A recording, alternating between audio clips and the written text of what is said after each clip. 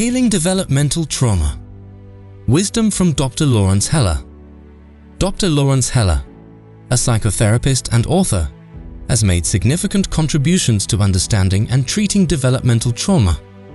His work emphasizes the importance of addressing early attachment and developmental issues to promote healing and emotional well-being. Heller's interest in developmental trauma led him to develop the Neuro-Affective Relational Model, NARM, a therapeutic approach that integrates attachment theory, somatic psychology, and relational therapy.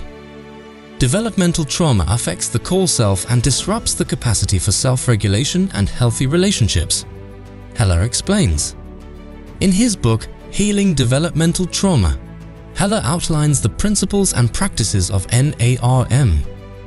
He emphasizes the importance of addressing both the cognitive and somatic aspects of trauma, helping individuals reconnect with their bodies and emotions. Healing requires an integrative approach that addresses the mind, body, and relational dynamics, he states. Heller advocates for a relational and non-pathologizing approach to therapy, focusing on the individual's strengths and resilience.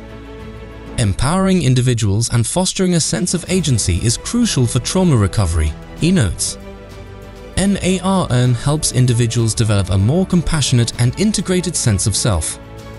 Central to NARM is the concept of agency, the capacity to take effective action and make choices. Developmental trauma often undermines this capacity, leading to feelings of helplessness and disempowerment. NARM helps individuals reclaim their agency and develop healthier relational patterns.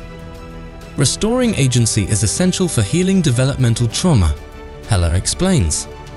Heller's work has provided valuable insights into the treatment of developmental trauma, offering a comprehensive and integrative approach to healing. His emphasis on addressing early attachment issues and fostering agency has influenced trauma therapy, helping individuals achieve deeper healing and emotional well-being.